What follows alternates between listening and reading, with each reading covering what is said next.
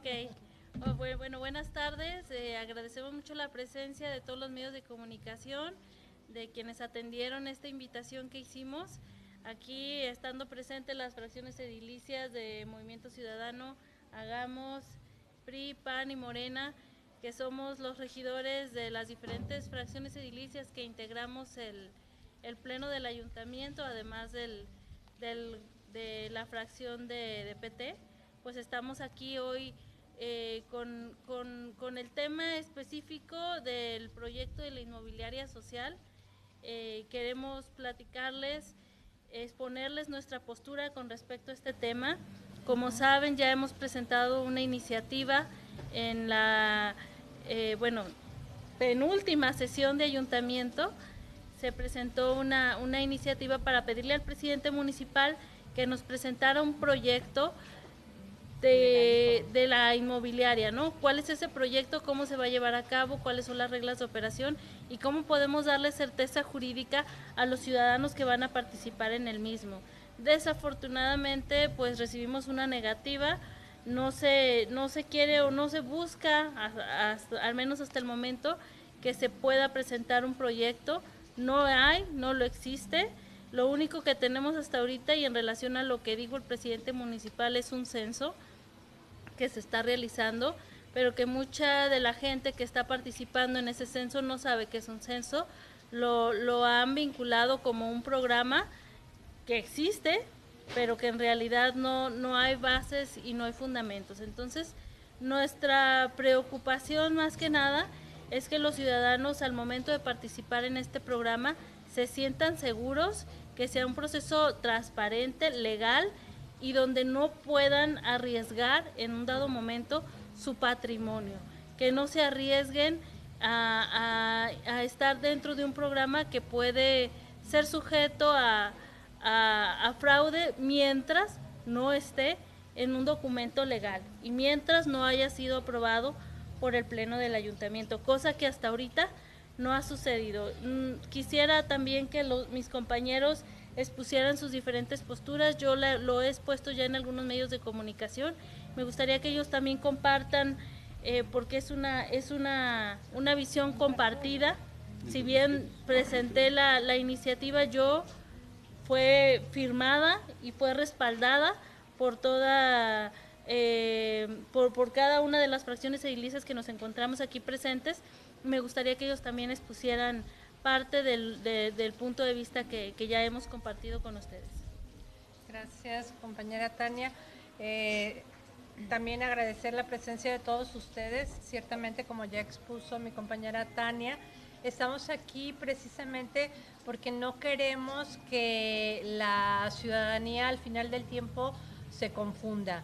Eh, como ustedes lo, lo, vieron, se causó una gran, gran euforia con el tema de la vivienda social, porque no necesitamos hacer este, una encuesta o un, nada para saber que es una de las problemáticas que más aquejan a los ciudadanos de, de, Zapotlán, que las viviendas son insuficientes, que viven dos, tres y hasta cuatro familias en lo que originalmente era la vivienda para una sola familia. Entonces a nosotros sí nos causó una este, admiración, pero también este, confusión el que se lanzara un programa sin haber absolutamente nada escrito legalmente en un papel. Ese fue el contenido de la iniciativa que presentamos conjuntamente todos los regidores aquí presentes y lo que se nos contestó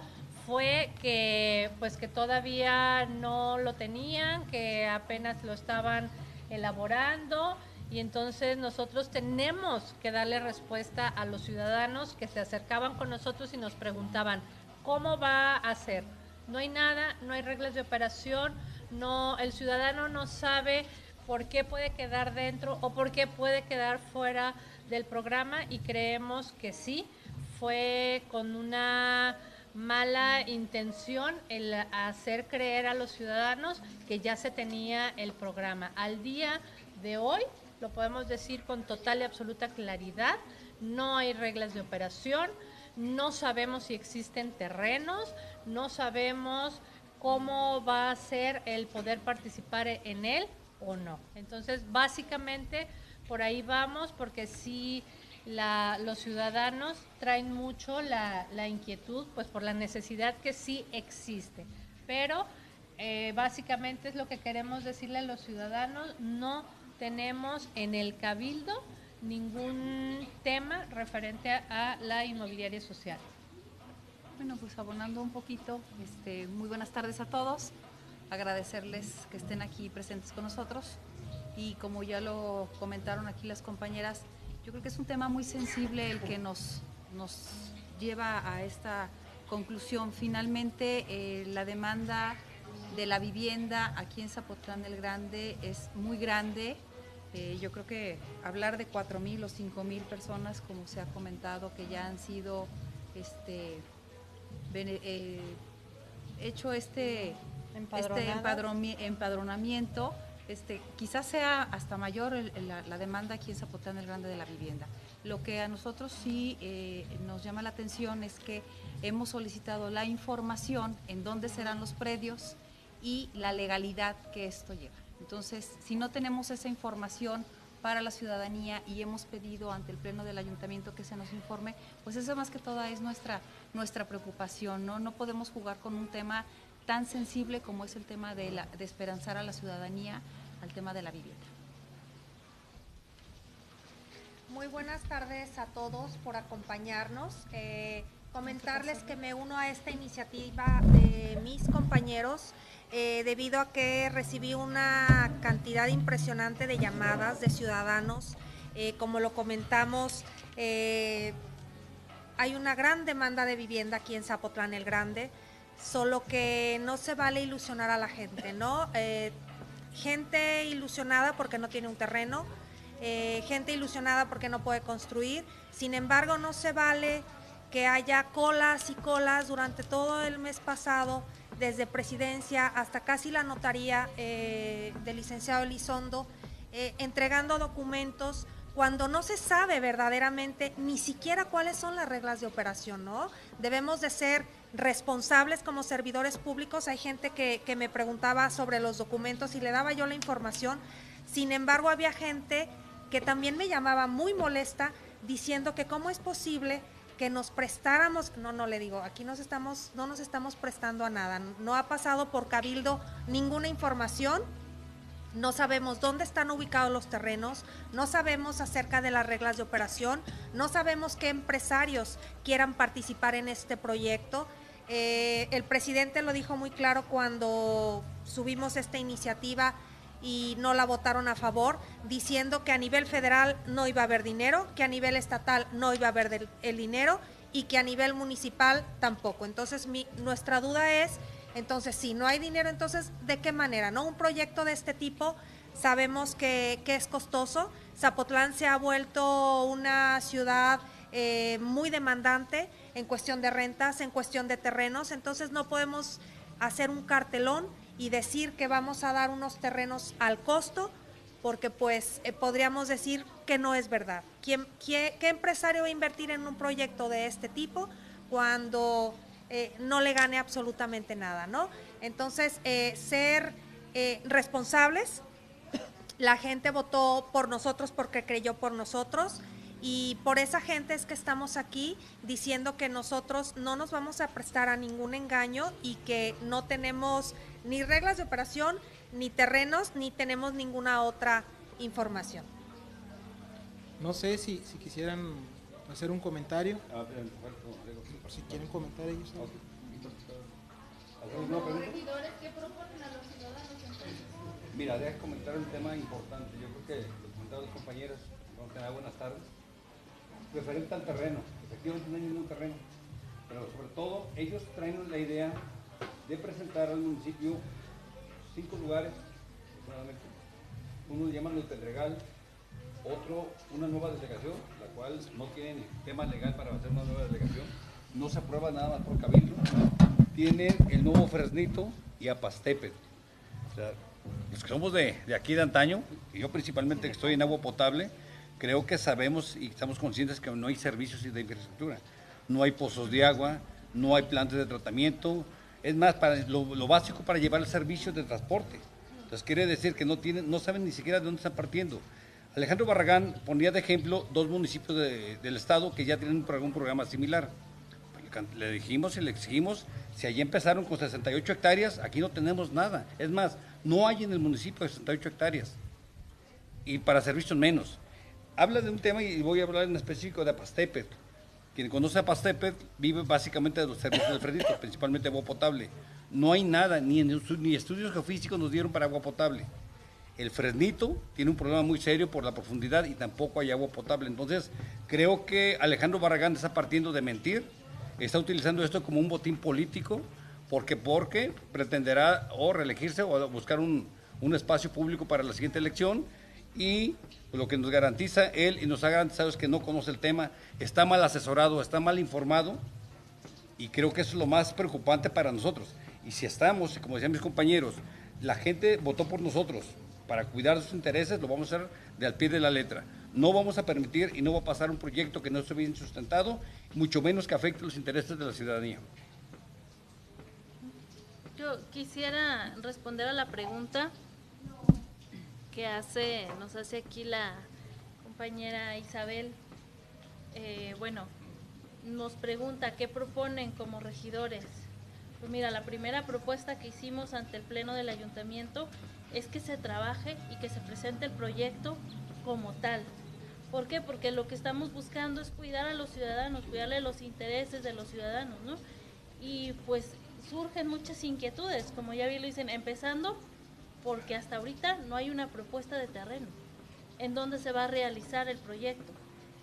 No podemos prestarnos o engancharnos eh, con, con, el discurso que se ha vertido ya por parte del presidente municipal, del gobierno municipal como tal, en el sentido de, de lo que se está proponiendo y la gente que se acerca a preguntarnos no podemos nosotros mentirles, no podemos eh, eh, entrar en el mismo discurso que hasta ahorita no hay nada, que hasta ahorita no hay nada legal o nada legítimo. En materia de vivienda es muy difícil que un municipio o que como regidores o incluso el propio presidente municipal pueda proponer un proyecto como, como el que está poniendo sobre la mesa, bueno, que no ha puesto sobre la mesa, pero que ha puesto ya abierto públicamente hacia la sociedad. ¿Por qué? Porque la materia de vivienda, y lo establece la Constitución, es un tema de materia federal, es una competencia federal y coadyuvan los municipios y los estados en el ámbito de sus facultades. ¿Qué sí podría hacer el municipio en materia de vivienda? La cuestión de los servicios públicos. Eso es lo que le toca al municipio. Pero aquí tendría que haber injerencia federal e injerencia estatal para que se pueda llevar a cabo ese proyecto. Y nos han dicho que no va a haber ningún tipo de injerencia. Entonces, cómo puede haber viabilidad o cómo se va a llevar a cabo un proyecto que es una competencia estrictamente federal para que pueda tener esa validez y esa legitimidad y que pueda ser un proyecto viable para los ciudadanos. Entonces, la primera propuesta es, es que se nos presente el proyecto como tal y estamos obviamente abiertos a trabajar, a enriquecer, a gestionar y a lo que sea necesario para que el proyecto pueda fortalecerse y que salga bien que salga bien hecho, que salga fortalecido, pero no podemos ahorita prestarnos a, situaciones que, hasta ahorita están en el aire, que están en la nube y que en realidad no, no han sido aterrizadas y no han sido plasmadas para podérselas dar a conocer a la ciudadanía como tal. Entonces, esa, esa es más que nada la, la, intención ahorita que ustedes conozcan, que sepan cuál es la, la intención, la la preocupación y la ocupación que en este momento tenemos. Obviamente, eh, este es un, un, proyecto, un programa que se ha platicado o que se ha difundido y que al momento de hacerlo, si yo lo hiciera como regidora, mi responsabilidad es presentarlo. Y si yo estoy haciendo la propuesta, yo la presento, yo la, la fundo, la motivo, gestiono lo que tenga que gestionar y se lo presento al Pleno del Ayuntamiento para que pueda ser discutido y en su momento aprobado. Pero este, eh, este no, no ha sido un proyecto o una, una, una ilusión que ha salido de ninguno de los que estamos aquí presentes. Sabemos eh, que, que se ha hecho pues a través del presidente municipal y lo único que le pedimos es que lo, legitime y que nos presente un proyecto y si el proyecto es viable, pues nosotros, claro que en lo personal yo me sumaría, lo promovería, invitaría a la ciudadanía, les daría a conocer, les ayudaría, a, los acompañaría en el trámite, pero si el proyecto no es viable, si no se tiene sustento, si no tiene base, si estamos hablando de una inmobiliaria social sin cimientos, no puedo no puedo promoverla y no puedo invitar a los ciudadanos a participar de él. Quiero comentar, este, precisando para ir cerrando eh, dudas y comentar un poco, me lo acomodo, mis amigos están medio dormidos. Eh, anuado lo que comenta Raúl y mis compañeros y lo que preguntas eh, Isabel, sí coincido contigo cuál es la propuesta, ¿no? Como nosotros, y bueno, están cuestionando, pero ¿qué proponen ustedes? Te voy a decir cuál es la gran propuesta que puede ser viable y qué es viable para el municipio. Pero quiero eh, abonar un poco a lo que acaban de comentar. Primero, este proyecto fue un proyecto que el partido del PT lo traía en campaña, el tema de inmobiliaria eh, de costo, de bajo costo. Primero. Segundo, ellos lo anuncian estando presentes notarios, estando presentes diferentes secretarías eh, del Estado, entre ellas, ¿cuál fue Laura? Y Jalvi. Y Jalvi estuvo presente y otras autoridades. Tú estuviste por ahí, Isabel, y algunos de ustedes estuvieron cubriendo la nota. Donde anunciaban claramente el proyecto de vivienda de lotes a un precio razonable con servicios. Lo que aquí nos brinca a nosotros es que para que tú construyas como inmobiliario un proyecto, ocupas tres bases. El terreno, las reglas de operación y el proyecto. O mejor dicho, terreno, proyecto y reglas de operación. Las tres, en este momento, ninguno de nosotros como regidores conocemos ese proyecto y esas tres fases, que no están y no existen. Es ahí donde que estamos la inconformidad, pero a la vez anunciándole al ciudadano que no se deje engañar. Efectivamente, en la sesión pasada, Tania subió un punto donde pide que se turne a comisiones el proyecto para analizarlo, lo cual hicieron una y otro comentario para no mandarse a comisiones. Si ya tienes realizado las tres bases, pues ¿por qué no lo mandas a comisiones? Porque no existe nada. Ahí está el problema, pero sí dijo una cosa muy clara el ciudadano presidente. Total, es un censo.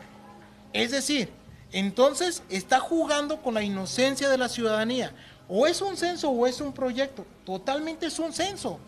Que no quiera engañar a la ciudadanía de un proyecto que ni siquiera él conoce, que ni siquiera lo tiene sustentado, que ni siquiera tiene los terrenos y que ahorita, como dice Raúl, hay terrenos que en el Tequisayana o en el Fresnito. Recordemos que había una persona, un tal Zoilo, que andaba vendiendo terrenos allá en Piedrancha. ¿Por qué separaron esos proyectos? Porque no hay servicios y no puedes aprobar un proyecto de vivienda donde no hay servicios. Entonces, ¿cómo como gobierno estás llevando a cabo esos proyectos y motivándolos? Esa es una vía. ¿Cuál es una solución aparte de esa vía de inmobiliaria, dejándonos de, de, ese proyecto? ¿Cuál es? El 40% de los terrenos que existen de vivienda en Zapotlán el Grande son irregulares que se meten a la regularización. Existe el COMU de la Comisión Municipal de, Regularización. Tenemos año y medio en el gobierno y no han citado para regularizar ninguna vivienda, más lo que se había hecho en la otra administración, que era ya para el ojo de agua, la colmena y la colmenita. Pero tenemos un 40%. Yo soy parte de la comisión y he eh, pedido que se cite para ver cuáles terrenos son los que hay que ir regularizando, cuáles están en el ejido, para darle el sustento derecho al ciudadano para que ellos empiecen a construir y poder tener ese movimiento de terrenos y de vivienda. Esa es la única solución, porque que tú me digas que en la mancha urbana tenemos parcelas para poder notificar, no es cierto. Y que puedan tener en los servicios, eso es mentira, o que me digan dónde están esos terrenos. Pero sí tenemos las colonias, como la Nueva Luz, poniendo un ejemplo, como donde está la, la, Gándara Estrada, que hay otros terrenos. hay muchos terrenos, Alfredo, ustedes no dejan mentir, que conocen más del tema, en Ciudad Guzmán, que son irregulares y la gente no ha podido construir o medio construye, pero no acaba de construir porque no tiene las escrituras y no le pueden dar los permisos de, construcción. Si nosotros nos enfocamos a regularizar esos terrenos que no están regularizados, sí podemos tener un número eh, masivo de vivienda y de propietarios que pueden empezar a construir, podemos tener rentas y gente que puede tener ya su sustento legal de sus propiedades. Esa es una, esa es una línea, Isabel, es una línea, Alfredo, es una línea para todos los ciudadanos que puede ser una de las mejores y puede ser más rentable para el ciudadano que ahorita les estén vendiendo espejitos cuando la realidad es otra. Creo que en, términos generales esto es lo, que nosotros vemos y analizamos del proyecto de inmobiliaria social. Ahora queremos escucharlos a, a ustedes y respecto de lo que hemos platicado nosotros ahorita, ¿les queda alguna duda para ya pasar a, recapitular el tema? Sí, hay un precedente de construcción de vivienda por parte del municipio. En la administración de Roberto Moreno se construyó Hijos, Ilustres. Que no tenía servicios en, absoluto, pero ha ido... puede ser algo así, ¿no? Sí, pero ya estaba. Ya, ya, estaban, ya, ya, estaba el terreno, que es lo elemental. Aquí seguimos sin tener nada. Hace, unas semanas, en un espacio radiofónico, el propio presidente Alejandro eh, comentaba que no hay un proyecto como tal, que no hay un, este, un programa, que todo lo que se había hecho era un simple sondeo. Un sondeo que uno de sus propios regidores, Jesús Ramírez, le, le da precisamente en esa, en esa sesión de cabildo, este, donde también presenta el punto, donde ya existe En este caso, ustedes eh, realmente como regidores, ¿qué información o qué, o qué eh, datos han tenido con respecto a, esto? Porque eh, a veces la postura del presidente no se entiende, si se presenta como un programa, después acude un espacio, dice que no, que, que porque no se tiene el terreno, que porque no se tiene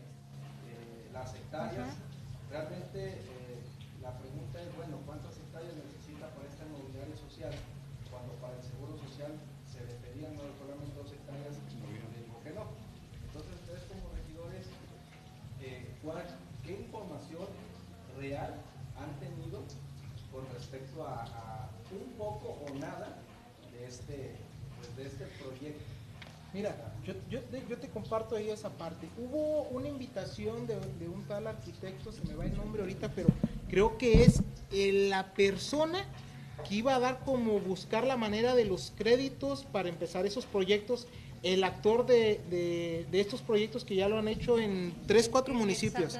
En, en esos municipios. En concreto, yo le dije, ¿cuántos lotes te salen por hectárea? ¿De cuánto estamos hablando? Me dijo, tentativamente son 50 lotes por hectárea. Ok. El presidente, ahí presente yo dije, él dijo que estaban sobre 450 viviendas a 500, 4.500 a 5.000. Multipliquemos entonces cuántas hectáreas ocupamos. Si multiplicamos son 4, 50 eh, lotes por 4.500, estamos hablando, si no me equivoco, arriba de, a ver Tania, multiplícale, para ser bien claros, no quiero... 4.500 entre 50? 50. 90. 90. 90 hectáreas. No las tenemos en nuestro valle, 90 hectáreas para hacer un fraccionamiento, para hacer un, un proyecto de esta magnitud. Es la única información que tenemos. Cuando yo le dije a él, le dije, oye, oye arquitecto, pues no tenemos esos terrenos. Dijo, efectivamente, tenemos ocho meses aquí con este gobierno, con Barragán y con ellos platicando, y ese es el trabajo que hay que hacer, ocupamos los terrenos. Entonces, es un proyecto sin base ni sustento, Daniel, como tú lo acabas de decir. Un día amanece y te dicen otra cosa, otro día anochece y te dicen otra cosa. Por eso queremos hacerle saber al ciudadano que, ojo, que estén bien claros lo que les están diciendo, que no les estén vendiendo espejitos, no porque no queremos un proyecto de estos, qué bueno que fuera rentable, fuéramos los primeros que ayudáramos a construir este proyecto por la demanda de vivienda, pero es un camino donde es un fango y no hay realidades. Ahora, el tema de la zona eh, territorial, sabemos que hace unos meses también pues andaban con este tema de que... Eh, Zapotití le pertenecía ya a unas partes de hectárea que supuestamente tiene Guzmán, eh, Gómez Farías también por ahí tenía ese mismo asunto, también cómo ha caminado ese, ese tema, han tenido ustedes también conocimiento. La Comisión de Obras. Y realmente, pues digo, antes de, de pensar en un proyecto la posibilidad eh, o poder gestionar el, gobierno municipal. Sabemos que estaba ese tema de las actualizaciones que ha pasado también con ese, con ese tema. Laura. Sí, en- desde la administración pasada, recordarán ustedes, eh, coincidió que el gobierno del estado empezó a hacer un trabajo sobre límites territoriales de, de todo el estado. Aquí nos mandó, después de una serie de trabajos, de mesas de trabajo, etcétera, al final el, el área encargada de esto le manda a Zapotlán el Grande y a todos sus vecinos su propuesta de límites territoriales, propuesta que en Cabildo rechazamos porque era perjudicial hacia, hacia el municipio. Nos quitaban este, muchos terrenos, sobre todo por el lado acá para Tuxpan y con Tamazula, si mal no recuerdo. Entonces la contestación del, Pleno del Ayuntamiento fue negativa de no aceptar. Ahora sí debería de estar en revisión esa parte que mandamos de contestación. Pero ah, siendo así muy claros y muy puntuales, pues esa cuestión no ha llegado a su fin y como no se aceptó, bueno, tiene que estar este, todavía en, revisión. Y ustedes saben que un tema de esa naturaleza, donde todos los municipios nos vamos a defender si es que nos vemos perjudicados, pues yo creo que puede trascender incluso esta administración. Eh, concretamente, no nos han informado por parte de este ayuntamiento, la síndico pudiera ser a quien le corresponde, cómo van estos trabajos y en qué ha avanzado, pero no, no se quedó en la, en la formalidad, no se aceptó, entonces estamos con los límites que, que conocemos, ¿no? Entonces, por esa parte, no hay, no hay manera de, de decir, este, ya tenemos menos territorio, no, para Y- nada. Y, abona- y abonando a eso, a eso Daniel, eh, también coincido con lo que comenta Laura, eh, está esa parte de que los terrenos, las limitaciones no coincidieron.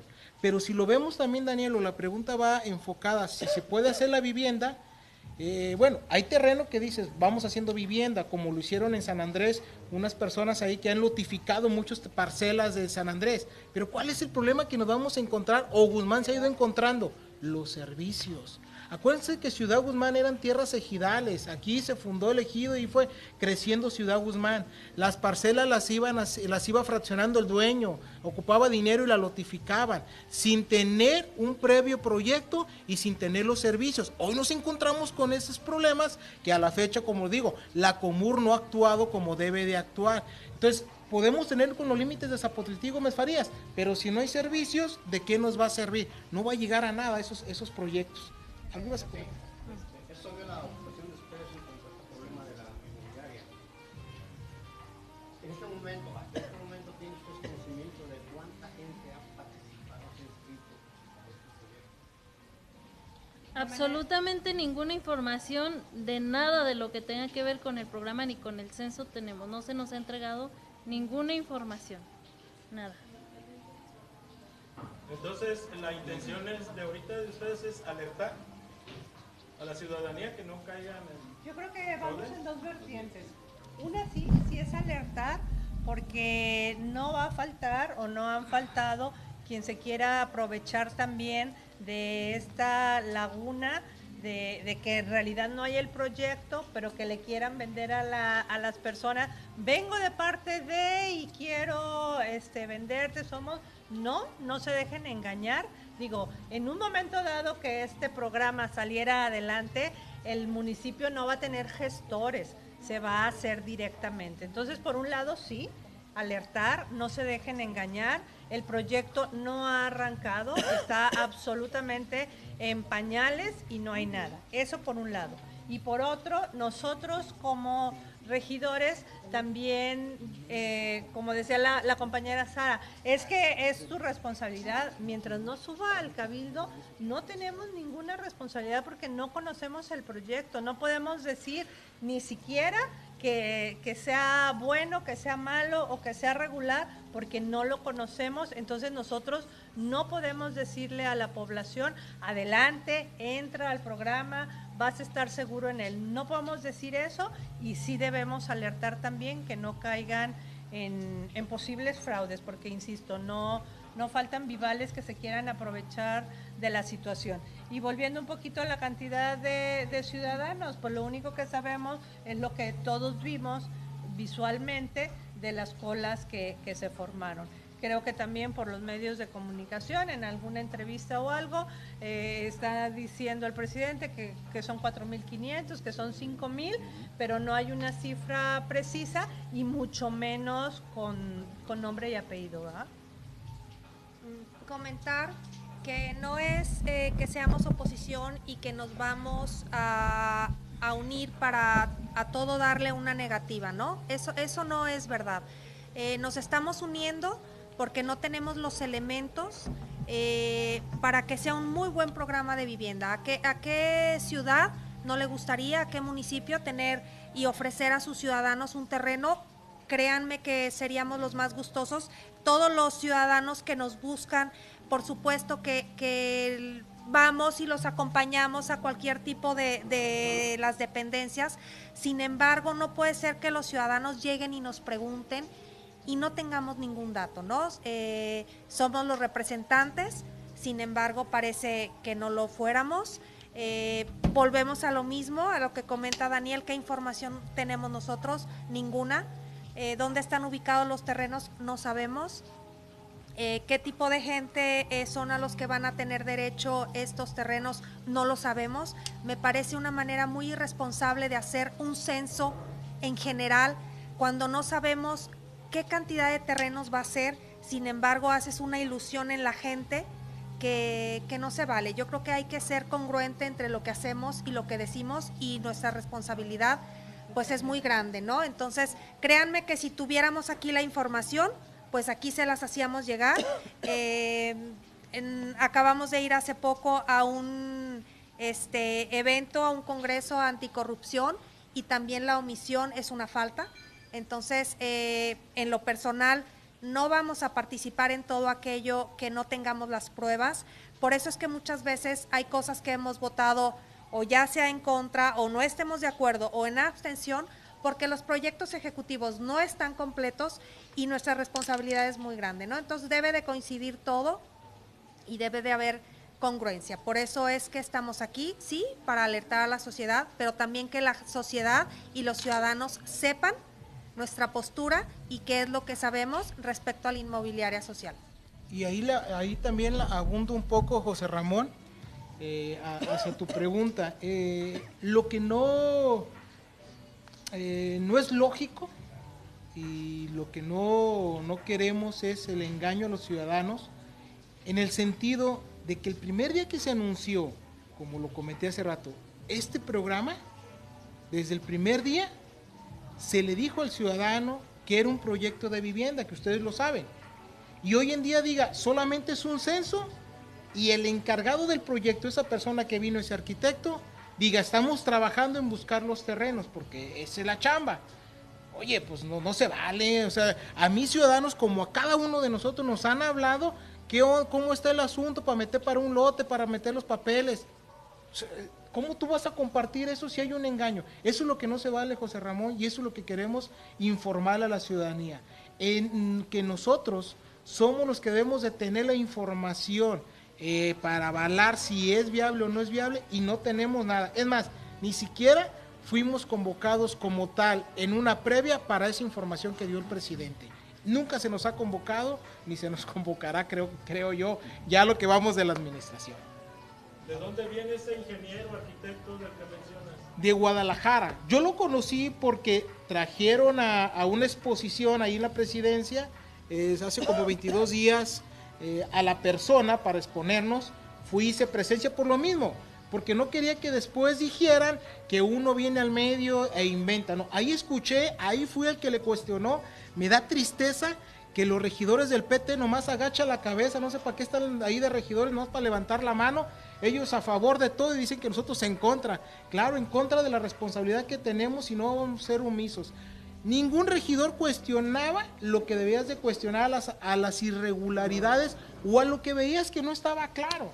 Entonces fue una persona de Guadalajara y que al parecer lo conocieron en una de estos eventos, cuando, cuando entras cada gobierno, pues que cuando entra cada gobierno, se te acerca un montón de personas que traen proyectos, ¿no? El proyecto del agua, el proyecto de vivienda, mil proyectos, pero al final tú sabes que hay algo atrás, ¿no? Al parecer en un tema en México lo conocieron y de ahí agarraban a esta persona, pero la persona fue muy clara. Hay que encontrar terrenos, esa es la chamba que hay, llevamos sobre siete meses platicando todas estas dudas. Entonces, yo ahí se los dije, entonces, ¿por qué le dicen al ciudadano? que, hay lotes, que es un proyecto cuando no tiene nada, pues díganle la verdad, ocupamos un censo porque somos ingenuos y no traemos la información, porque creo que como candidatos cada uno de nosotros, tanto Laura, Mónica, Tania y Sara y tu servidor, sabíamos los proyectos que los, los proyectos que necesita Guzmán y los problemas que le duelen. Y creo que este ciudadano en PT sabía los problemas y el número de personas que se ocupa de vivienda. Entonces no se vale que juegues con la necesidad de las personas para que el último te lo llevas a un tema electoral, porque así parece ya es un tema electoral. Entonces no se vale en eso, José Ramón. En la sesión anterior, la, la síndico decía que había emitido una, como una plática, una charla informativa respecto a eso y, bueno, cuestionó que ningún regidor de la oposición había, había acudido. Eh, por ahí la regidora Tania comentaba que, nunca fue una, una invitación formal, ni siquiera por medio un oficio incluso comentaba acerca de, que algunos regidores no habían salido. Eh,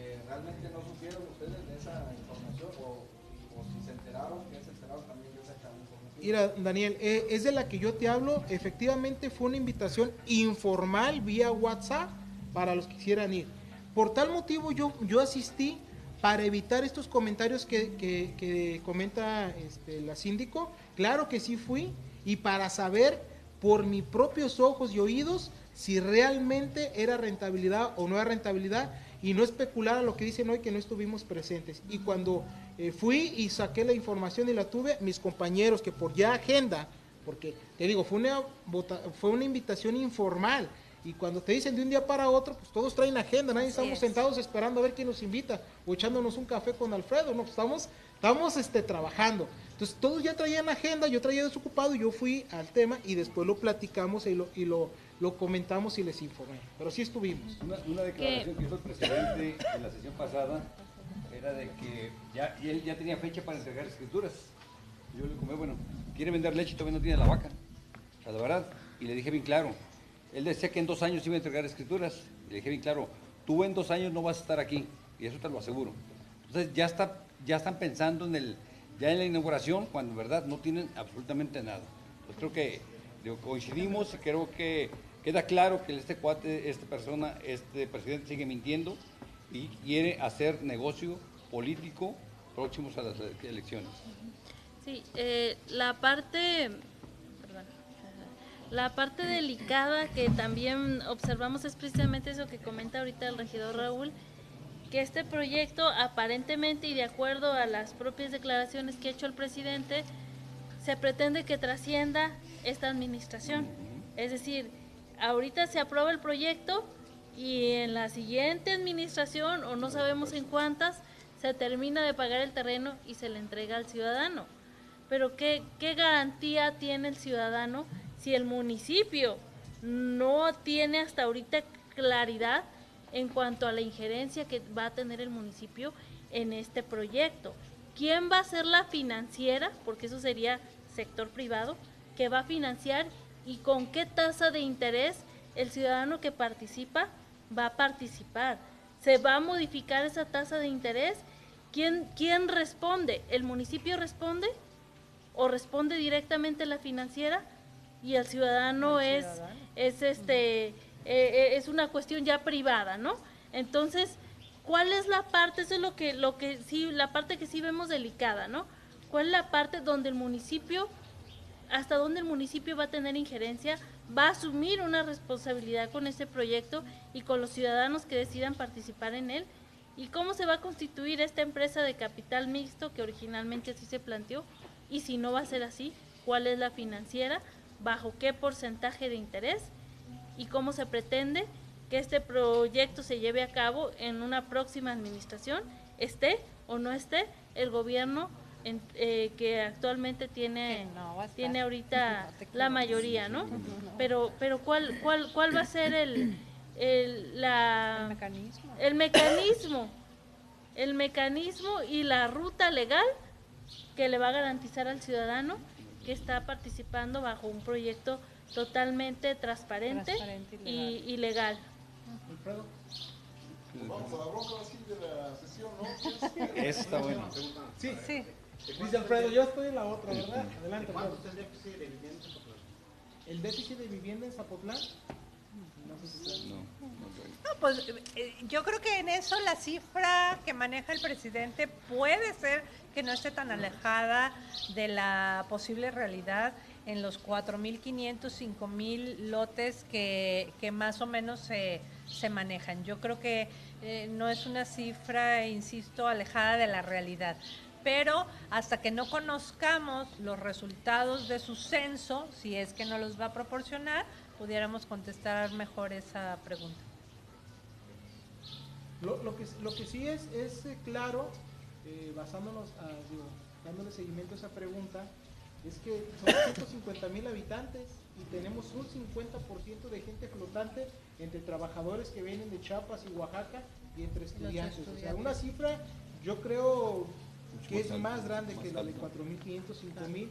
Por eso hablaba el que debe de trabajarse la regularización de todos los terrenos y colonias que tenemos en Zapotlán, que están ahí atorados porque están atorados y tiene la facultad la Comisión Municipal de Regularización para hacer esos trabajos. Es que tengo entendido que para el crecimiento de una población, de un municipio, eh, se debe establecer cierto número de habitantes o de, o de lotes Sí, para que pueda crecer el municipio y así si todo el paso pues hay un mercado. Como cuando se construye una delegación, ¿no? Sí, Pero son un montón, lo hace rato lo hablábamos con Laura, son muchos procesos para poder construir una, una, Una delegación, como ya lo está aquí, a Tequisayán y el Fresnito. De entrada deben de tener una escuela, deben de tener una iglesia, deben de tener las vialidades, o sea, no está fácil, no está fácil. No, no avanzamos, no avanzamos. Pero claro, hay que, hay que, hay que abonarle, ¿no? A ir haciendo algo. Pero hay que hacerlo con, con, la, con el camino Con la correcto y responsabilidad. con la responsabilidad correcta. Y con lo que ya tenemos, insisto, tenemos algo, a un, a un tema que debe de, de caminar, que es la regula- regularización, y ahí está atorado. ¿De acuerdo? Ahora sí, Alfredo. ¿Se está acentuando la división en el cabildo? Sí, definitivamente. Eso, eso no, no. Yo creo que ya ni el presidente lo pudiera negar, mucho menos nosotros. El día de hoy nos levantamos de la sesión en protesta ocho regidores del cabildo. Este, se quedaron ocho. La, el cabildo está dividido por falta de oficio político del presidente. Hay que decirlo claramente. El presidente ni desde que fue un presidente electo tuvo la humildad de, buscarnos, de platicar con nosotros, hablando estrictamente de, de los seis regidores de representación proporcional, porque al final creíamos que como todo presidente, y más cuando inicia sus funciones, que venía a construir. Entonces, ha dejado, ha dejado ese tema, lo ha dejado, lo ha dejado, a tal grado que también este, con su propia bancada la situación ya no, ya no es tan bien. Yo creo que para nadie, y mucho menos para ustedes, medios de comunicación, es un secreto que la llegada de la regidora propietaria Yuritsi, que se había retirado en el día 1 o 2 de la propia administración para tener otra encomienda, su llegada eh, obedece a que un regidor más, en este caso una regidora más, pues estaba ya bastante descontenta con, con la situación y, vienen a, a tratar de, de salvar y de seguir teniendo a flote este, su bancada o su mayoría. En el aspecto totalmente legal, ya un regidor, Jesús Ramírez, ustedes también lo saben, hizo su retirada formal del Partido del Trabajo y es este regidor independiente. Entonces, eh, nosotros seis, junto con el regidor independiente, más otro que sí pertenece a la bancada del PT, nos retiramos de la sesión que se llevaba a cabo por violaciones flagrantes y muy claras a la ley de, administración a la que debemos de, acatar cómo se desarrollan las sesiones de, de cabildo. La controversia vino en la votación de un punto de acuerdo donde el presidente proponía cambios en la conformación de las comisiones edilicias, precisamente derivado de la llegada de, la nueva regidora y de la inconformidad que ya es visible con algunos de los regidores de su propia bancada. Votamos en contra siete, nosotros seis, más el regidor Monroy, siete en contra, una abstención y... Eh, ocho a favor. Y la secretario general declara que no se aprueba porque la mayoría necesita ser la mitad más uno, que es de nueve. Entonces, como no se completaron los nueve votos, este, no, no se aprueba el punto. Continúa la sesión, leemos y llevamos a cabo dos puntos más y después la síndico pide una moción para aclarar el, la manera en que fue cantada la votación anterior y en ese momento, bueno, se hizo largo el debate, nosotros argumentábamos con la ley en, la mano que no era posible sumar a la mayoría el, voto de, la abstención. Al final, el presidente toma su decisión y le pide a la secretario general cambiar el, el, sentido del voto, sumando esa abstención a, este, a la mayoría y dando por aprobado el punto. Entonces, ese es el momento en que decidimos levantarnos de la sesión y obviamente lo hemos platicado, creo que no lo vamos a dejar ahí, iremos a la instancia que corresponda, lo estamos analizando, algunos este, compañeros ya, ya están leyendo y viendo cuál pudiera ser el, el camino para llevar este, más adelante esta que es para nosotros una flagrante y clara violación de una ley del Estado de Jalisco. además no, es solo pleito con ustedes, sino que están afectando una representación que tienen ustedes, ¿no? Por supuesto, por supuesto. Eh, eh, si ya no van a, valer nuestros votos en el cabildo, pues ¿qué hacemos ahí? O, o cuál es el... Claro.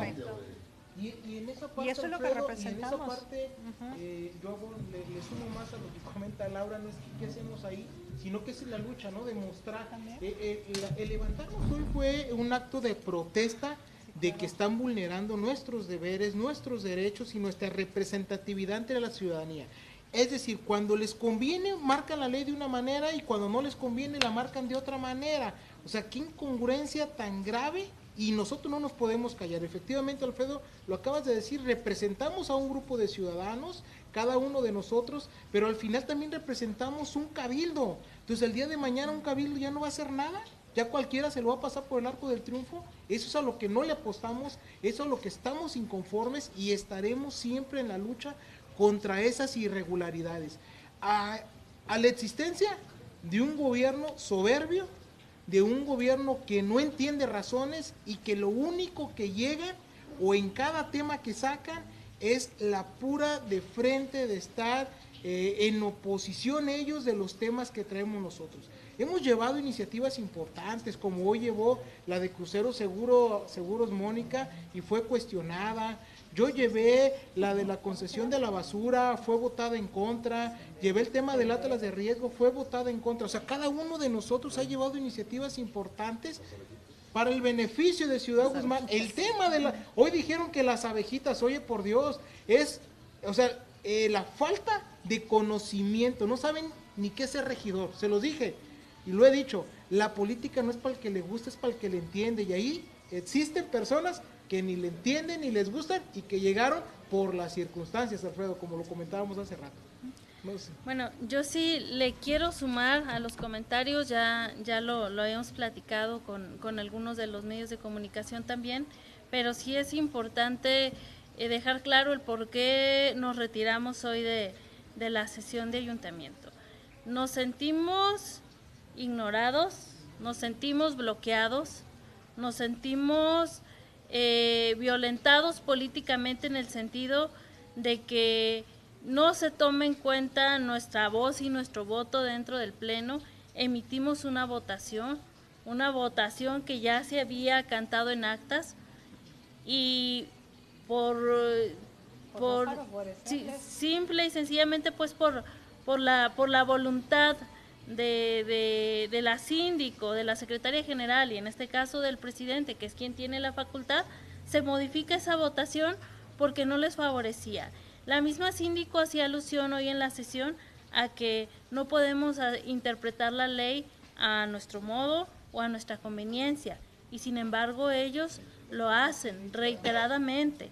Hoy es un ejemplo de algunos cuantos que se han venido dando. Ustedes recordarán que la sesión anterior a esta presentamos precisamente el tema del proyecto de la inmobiliaria, se bloquea que porque no alcanzaba la mayoría simple, porque el regidor Joel se retiró de la sesión antes de emitir su voto.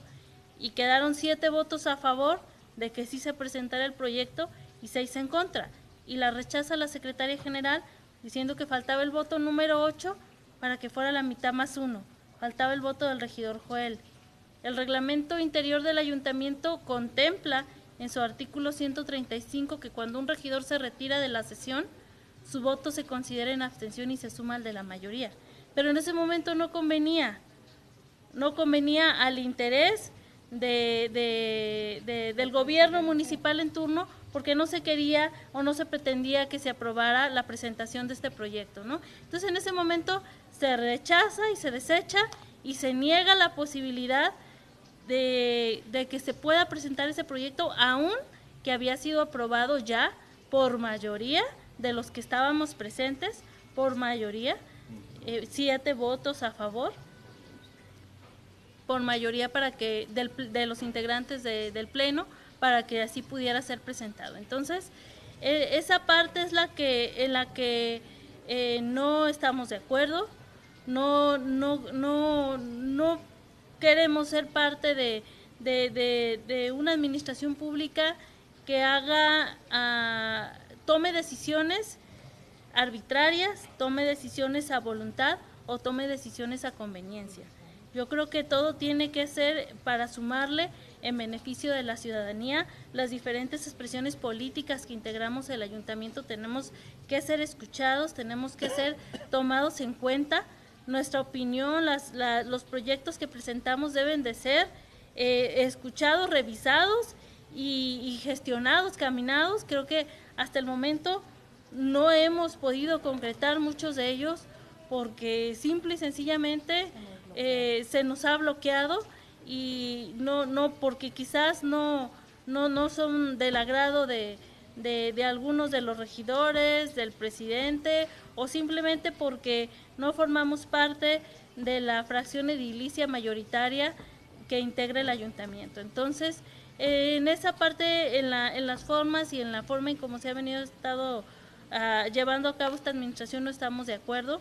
Hoy, eh, al retirarnos nosotros de la sesión y al quedar únicamente ocho regidores en la sesión de ayuntamiento, no tenían quórum para continuar la sesión, sin embargo la continuaron y sin embargo asintieron nuestras ausencias y tomaron en consideración nuestros votos, ahora sí, con lo que establece el reglamento, tomándonos como ausencia y, y sumándolos a su mayoría, es decir, que se aprobaron todos los puntos por 16, por, votos. Por, 16 votos a favor, ¿no? Cuando evidentemente estábamos ausentes, no eh, nos retiramos en un sentido de protesta, no se puede considerar una sesión y se le puede dar seguimiento cuando ya no tiene quórum para darle seguimiento. Entonces, obviamente lo que hicieron hoy está fuera de la legalidad y es un acto más de arbitrariedad que está ejerciendo esta, eh, este, este gobierno. Es ¿Estarían cuanto. Sí, claro.